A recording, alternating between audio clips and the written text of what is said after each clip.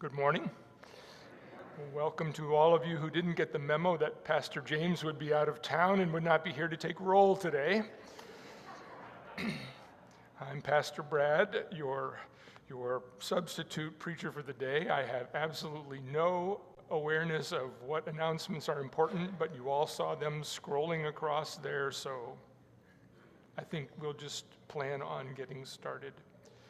So, um, the, the only thing is, I have been substituting for so many COVID people in the last couple of months that I can't remember when you stand up and sit down and do all your kneeling. It just gets way too confusing, so do that on your own, if you would, please. I'm not going to mention it anymore. So let's begin, please. In the name of the Father, and of the Son, and of the Holy Spirit. Amen. God of all mercy and consolation, come to the help of your people, turning us from our sin to live for you alone. Give us the power of your Holy Spirit that we may confess our sin, receive your forgiveness, and grow into the fullness of Jesus Christ, our Savior and Lord. Amen.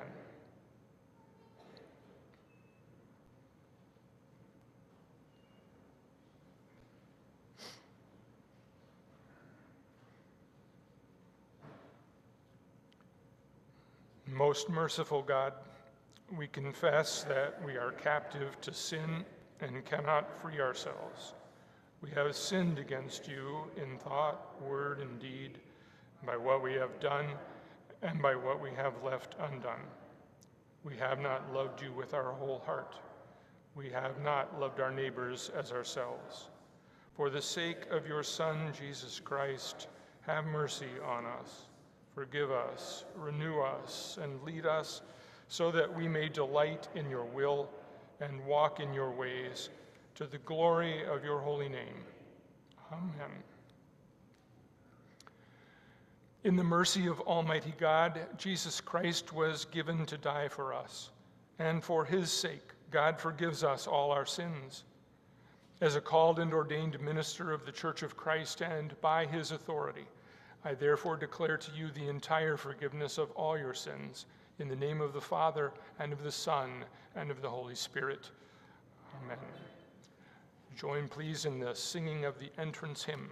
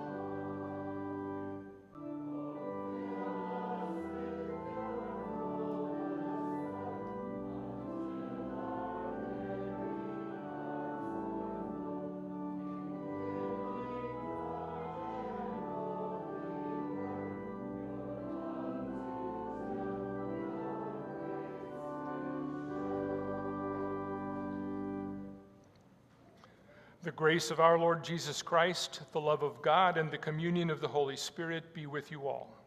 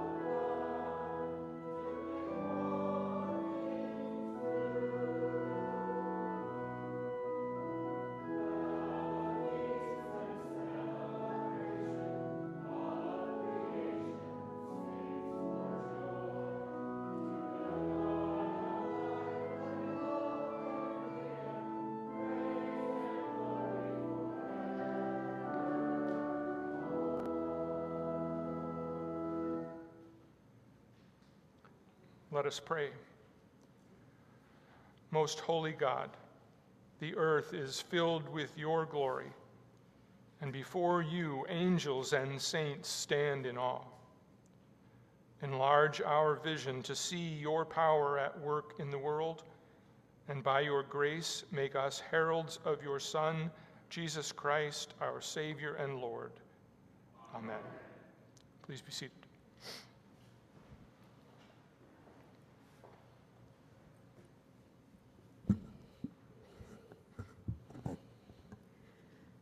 First lesson is from the sixth chapter of Isaiah. In the year that King Uzziah died, I saw the Lord sitting high on a throne, high and lofty, and then the hem of his robe filled the temple. Seraphs were in attendance above him. Each had six wings. With two they covered their faces, and with two they covered their feet, and with two they flew. And one called to another and said, Holy, holy, holy is the Lord of hosts. The whole earth is full of his glory.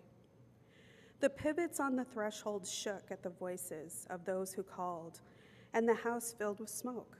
And I said, Woe is me! I am lost, for I am a man of unclean lips, and I live among a people of unclean lips. Yet my eyes have seen the King, the Lord of hosts. Then one of the seraphs flew to me, holding a live coal that had been taken from the altar with a pair of tongs. The seraph touched my mouth with it and said, Now that this has touched your lips, your guilt has departed, and your sin is blotted out. Then I heard the voice of the Lord saying, Whom shall I send? And who will go for us? And I said, Here am I, send me. And he said, Go and say to this people, Keep listening, but do not comprehend. Keep looking, but do not understand. Make the mind of his people dull and stop their ears and shut their eyes, so that they may not look with their eyes and listen with their ears and comprehend with their minds and turn and be healed. Then I said, How long, O Lord? And he said, Until cities lie waste without inhabitant, and the houses without people, and the land is utterly desolate, until the Lord sends everyone far away, and vast is the emptiness in the midst of the land. Even if a tenth part remain in it, it will be burned again, like the terebinth or an oak whose stump remains standing when it is felled. The holy seed is its stump. The word of the Lord.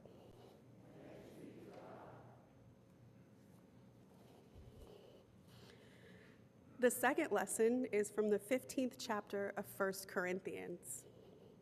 Now I would remind you, brothers and sisters, of the good news that I proclaim to you, which you in turn received, in which you also stand, through which you also are being saved, if you hold firmly to the message that I proclaim to you, unless you have come to believe in vain.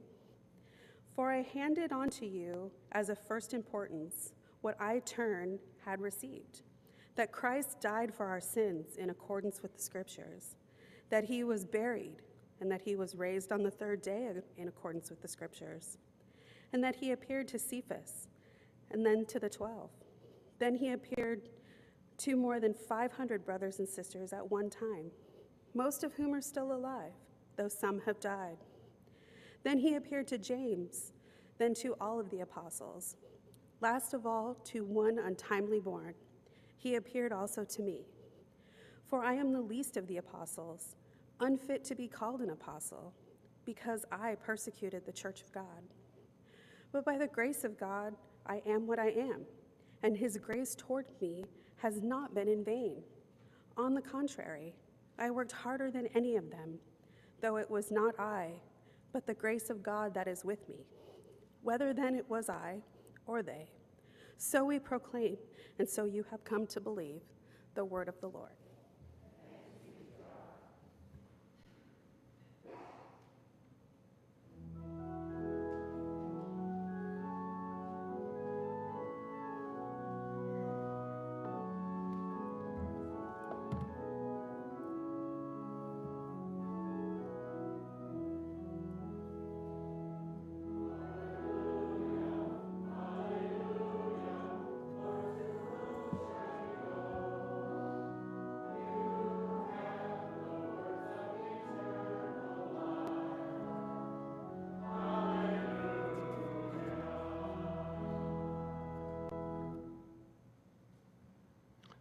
The Holy Gospel according to St. Luke, the fifth chapter. Once, while Jesus was standing beside the lake of Gennesaret, and the crowd was pressing in on him to hear the word of God, he saw two boats there at the shore of the lake. The fishermen had gone out of them and were washing their nets. He got into one of the boats, the one belonging to Simon and asked him to put out a little way from the shore. Then he sat down and taught the crowds from the boat. When he had finished speaking, he said to Simon, Put out into the deep water and let your nets for a catch. Simon answered, Master, we have worked all night long, but have caught nothing. Yet if you say so, I will let down the nets. When they had done this, they caught so many fish that their nets were beginning to break. So they signaled their partners in the other boat to come and help them. And they came and filled both boats so that they began to sink. But when Simon Peter saw it, he fell down at Jesus' knees, saying, Go away from me, Lord, for I am a sinful man. For he and all who were with him were amazed at the catch of fish that they had taken. And so also were James and John, sons of Zebedee, who were partners with Simon. Then Jesus said to Simon, Do not be afraid. From now on, you will be catching people. When they had brought their boats to shore, they left everything and followed him. The Gospel of the Lord. Please be seated.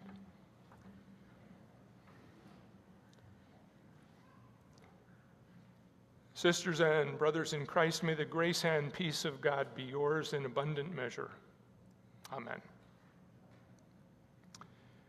If you um, happen to be in the market for good advice as to where the fish are biting, the steenstra to whom you must turn is not me. It is my cousin Tom, who was the outdoors writer for the San Francisco Chronicle uh, until he retired. I'm a, a different sort. Somewhere in my closet is a belt embroidered with all of the game fish of Minnesota, so that on the off chance that one of them would have accidentally jumped into the boat, I could recognize them. I am uh, the veteran of so many fishing expedition flops throughout the years that I have learned well that it can come to be a real trial of your patience. There are just so many things that can go wrong and spoil your day. You might happen to drop anchor in what proves to be a really bad spot. You might cast your line continually where it gets snagged and breaks when you try to reel it in. The fish might not be in the mood to taste whatever bait you are dangling to entice their appetites. Or they might turn out to be smarter than the one who is holding the pole. That's why, even after a full day's session at a trout farm, I have been known to go home with nothing but a lot of frustration. But after hearing today's gospel, I don't feel sorry for myself. Because hearing about that forlorn group of professional anglers who had spent a long night out on the water trying to make a living in their costly business where every single step of the venture was subject to burdensome taxes, it helps me to know that they too could come up empty. I have a good excuse for my series of empty stringers because I am clearly a rank amateur with no clue about what I'm doing. But those guys are experienced experts and they still fail. They catch the same thing I do zilch. yet remarkably unlike me, they don't whine over those horrible results. They don't seem to be looking for any sympathy. Apparently, not only have they dealt with this kind of futility many times before, they also can reasonably expect that this will not be the last time they haul in an empty net either. Dry spells simply go with the territory when you make your home in a waterfront community where your livelihood is based solely on netting, preparing, and selling fish that are forever elusive. Out on the often treacherous lake, six times a week, they have grown accustomed to having to wait for their small successes. They are fully aware that much of human life exists between the hard work and the results. Many times, there's nothing to be done but to accept that the kitchen table will be bare today. You might as well just strip the weeds off the nets so that you can go out the next night to repeat the same familiar procedures as before. Always operating with the hope that your luck will change for the better. But on this occasion, it proves to be a little different. An itinerant rabbi named Jesus shows up. Seeing that Simon and his friends aren't busy cleaning fish for market, he asks if they would row him out on a short path from the shore so that he can teach the crowd that has followed him to Capernaum perhaps glad for the diversion from the misfortune weighing on their spirits, and despite their weariness, they consent. They listen in as the preaching of Jesus stirs up excitement among the people. He announces the coming of the reign of God that will overturn the corrupt social structures in which they are trapped and mend the brokenness permanently. He invites them to repent and join the movement toward this new day, a message that appeals to all who hear it, including the frustrated fishermen. Then, perhaps wanting to repay the kindness that has been extended to him, as well as to illustrate his teaching in a concrete way. Jesus urges Simon to move the boat further out from the shore into the deeper waters of the lake, where chaos is assumed to rule, and put down the nets there for a catch. Something that makes absolutely no sense to these seasoned fishermen. They have spent the entire previous night in much better locations casting their nets and hauling them back in empty.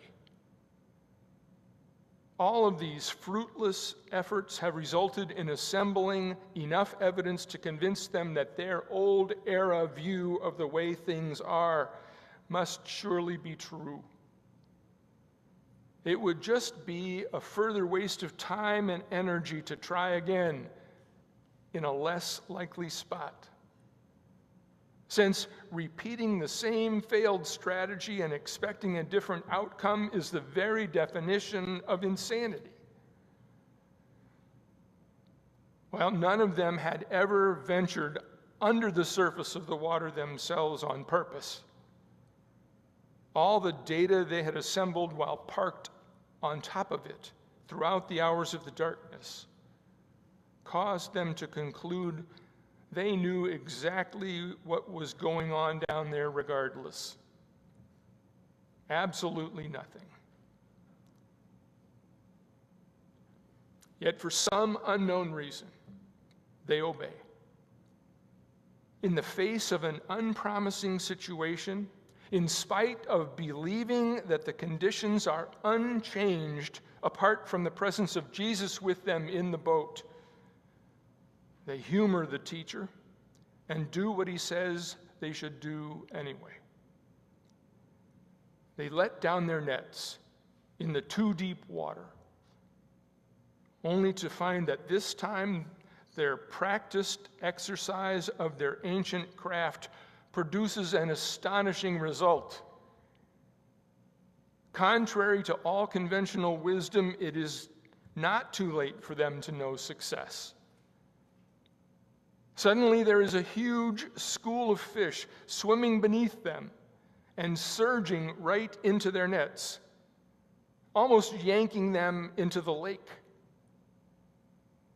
Apparently, all of these finny friends of Nemo are as interested in drawing near to the one who is the Lord of all creation as are the humans that had crowded around him on the beach.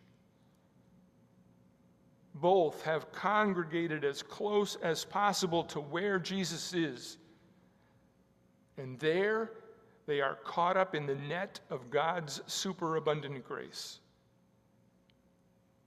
Not only are the heavens full of the glory of the Lord, but it seems that when Jesus, the powerful word that gives shape to the universe, is present, so too is both the land and the sea. This carpenter's son from Nazareth is the one who makes the rules for the lake, not the emperors of Rome.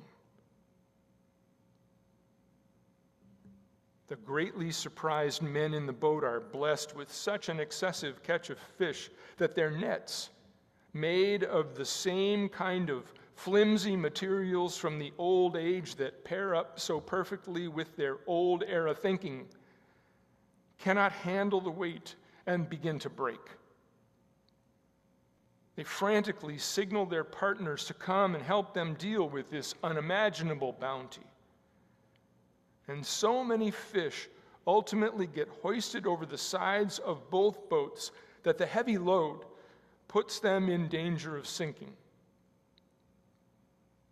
Even worse, being in such close proximity to this unexpected display of what is surely a heavenly power is so amazing as to be frightening.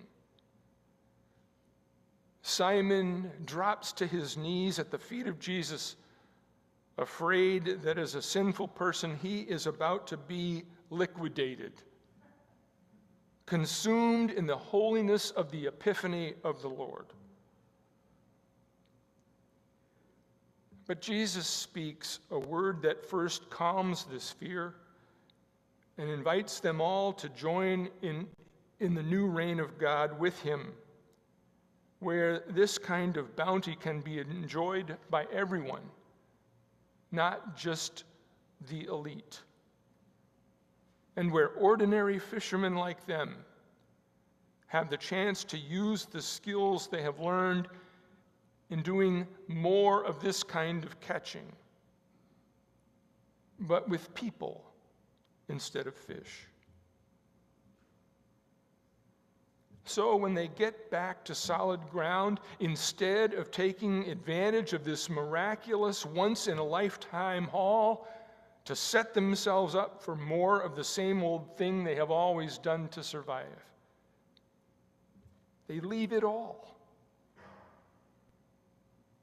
fish and nets and boats right where it is.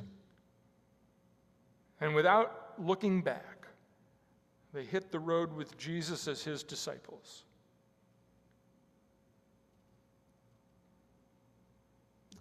I wonder what it would take for us present day listeners to do anything close to that dramatic to be so moved by the difference the presence of Jesus in the midst of a small group of Lutherans like this can make that we could never go back to being the same dispirited, pandemic weighed down people we were when we walked in here this morning. To be so swiftly absorbed in the abundant grace of Emmanuel, God with us that we would want nothing more than to help individuals, households, and entire neighborhoods get caught up with us in moving towards the values and practices that are liberating alternatives to the ones that prevail in the world as we have come to know it. To be so surprised by the Lord's word that when He instructs us to do something simple, that to our eyes not only seems completely unpromising, but well into the category of never going to happen, not merely improbable, but impossible, we would let down our nets anyway into the chaos that surrounds us just because that ordinary act is what he asks us to do. To be that willing when the bounty that we wouldn't dare to expect mysteriously materializes. To partner with other nearby assemblies of believers so that together we were actually able to do a better job of hauling in everything that gets caught in the nets of God's unfathomable mercy. What would it take for that to happen to us? Believe me, as I said at the beginning, I know how easy it can be to grow discouraged when you have been fishing in the same way and in the same spot for a long time without anything to show for your trouble, especially if you are just sitting around waiting for something to accidentally jump into the boat. But thankfully, I also know what it feels like to be swept up into the net of God's grace after Jesus shows up to change the prevailing circumstances for the better and to invite us to be participants with him on the adventure that follows.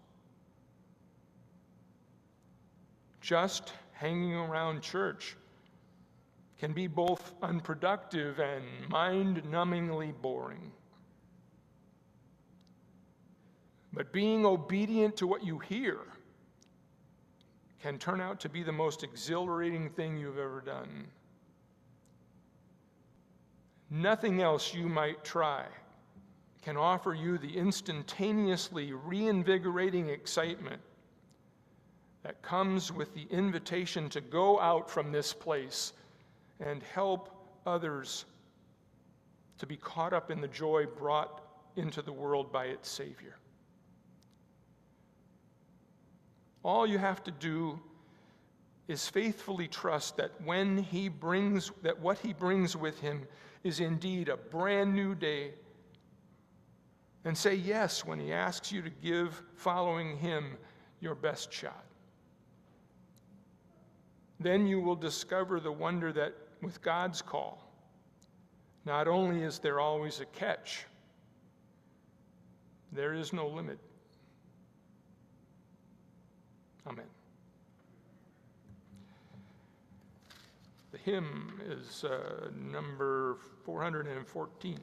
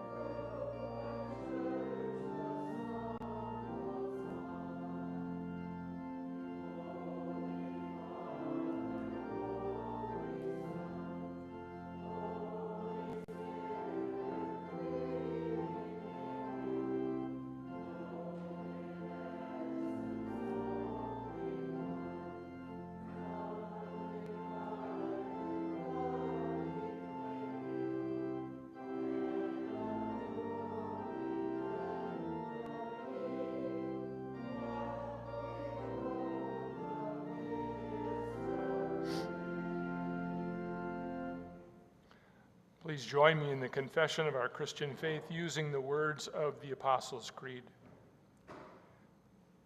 I believe in God, the Father Almighty, creator of heaven and earth. I believe in Jesus Christ, God's only Son, our Lord, who was conceived by the Holy Spirit, born of the Virgin Mary, suffered under Pontius Pilate, was crucified, died, and was buried. He descended to the dead. On the third day, he rose again. He ascended into heaven. He is seated at the right hand of the Father, and he will come to judge the living and the dead. I believe in the Holy Spirit, the Holy Catholic Church, the communion of saints, the forgiveness of sins, the resurrection of the body, and the life everlasting. Amen. Together, let us join our hearts and pray for the whole people of God in Christ Jesus and all people according to their needs.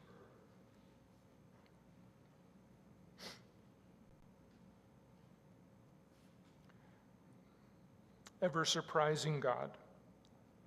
It was as hard for the first disciples to imagine fishing for people as it is for most of us to think about switching to a career of mining Bitcoin.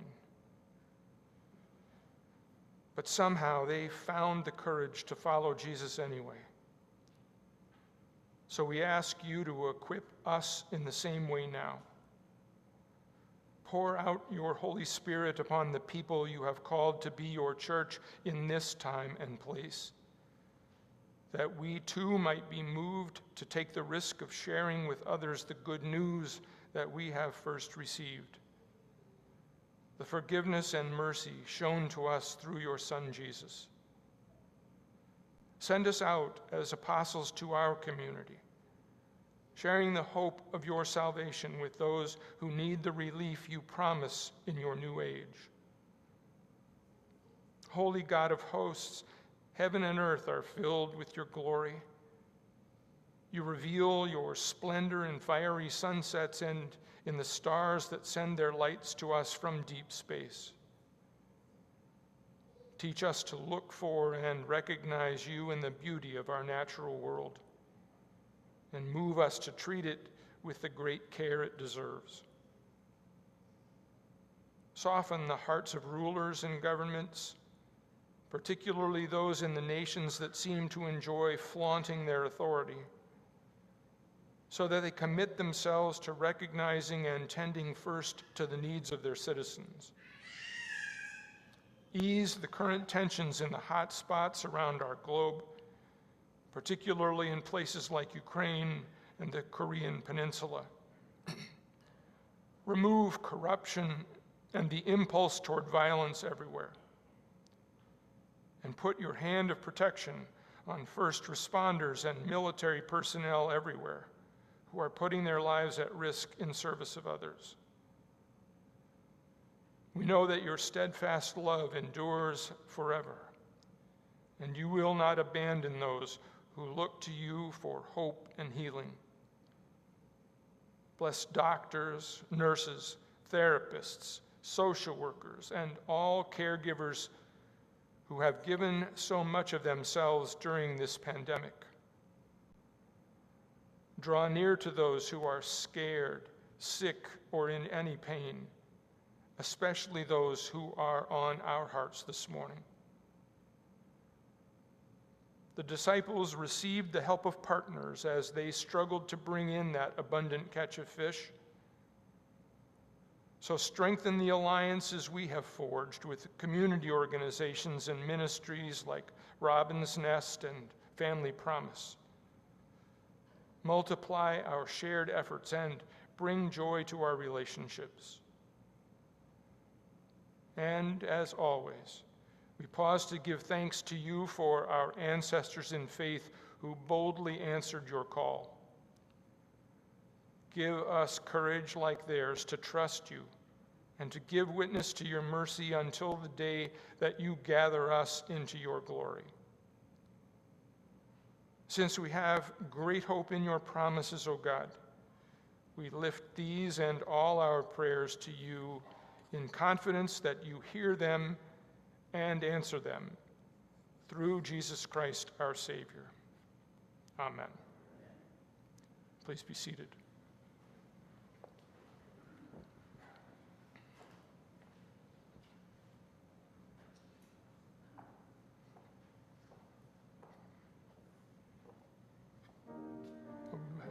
Have some back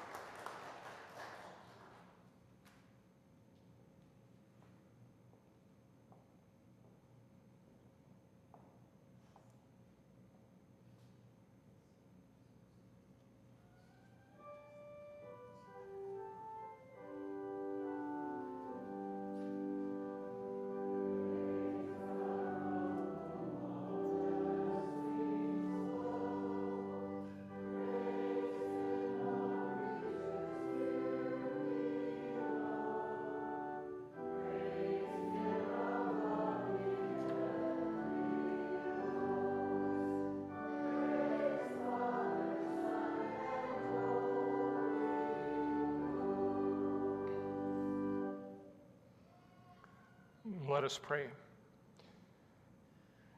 God of all creation, all you have made is good, and your love endures forever.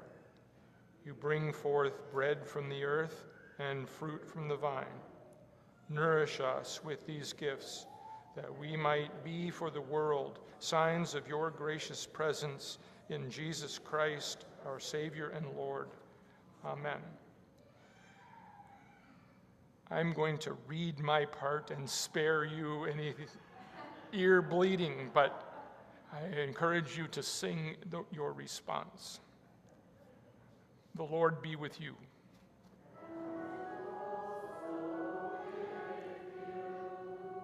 Lift up your hearts.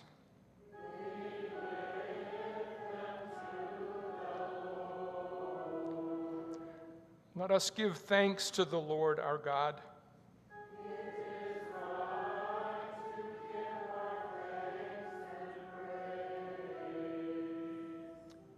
It is indeed right, our duty and our joy, that we should at all times and in all places give thanks and praise to you, Almighty and merciful God, through our Savior Jesus Christ.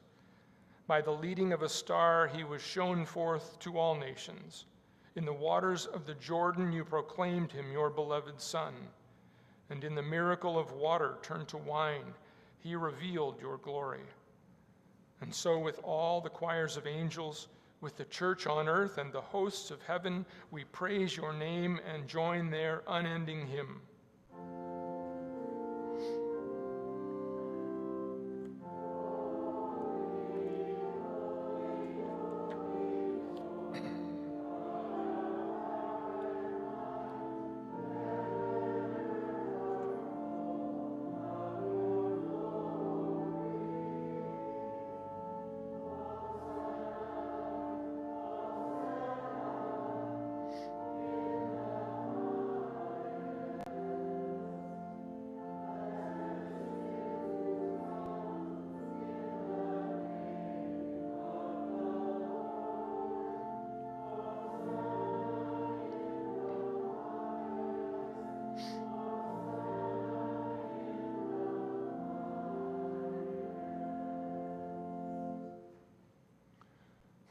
We remember how, in the night in which he was betrayed, our Lord Jesus took bread and gave thanks, broke it, and gave it to his disciples, saying, Take and eat. This is my body given for you. Do this for the remembrance of me. Again, after supper, he took the cup, gave thanks, and gave it for all to drink, saying, This cup is the new covenant in my blood, shed for you and for all people for the forgiveness of sin. Do this for the remembrance of me. Gathered into one by the Holy Spirit, we pray as Jesus taught us. Our Father, who art in heaven, hallowed be thy name. Thy kingdom come, thy will be done on earth as it is in heaven. Give us this day our daily bread, and forgive us our trespasses as we forgive those who trespass against us. And lead us not into temptation, but deliver us from evil. For thine is the kingdom, and the power, and the glory, forever and ever. Amen. Come to the banquet, for all is now ready.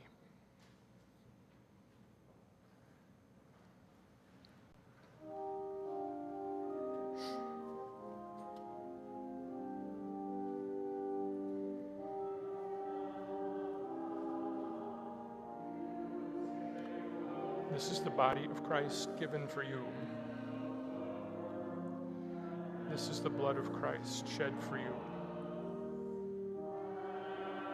I'll wait until the end.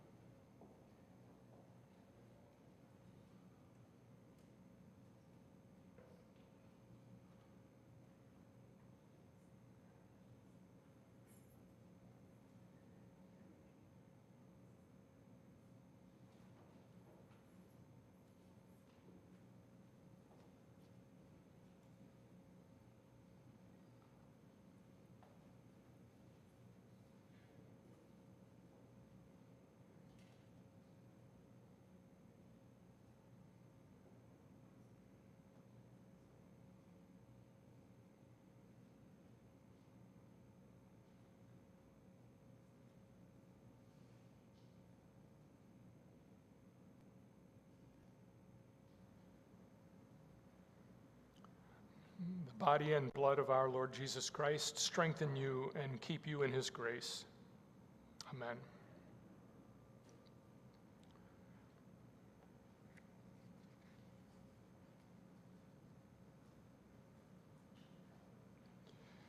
Okay, I'm going to stand you up to receive the benediction. The Lord bless you and keep you. The Lord make his face shine on you and be gracious to you. The Lord look upon you with favor and give you peace. Amen.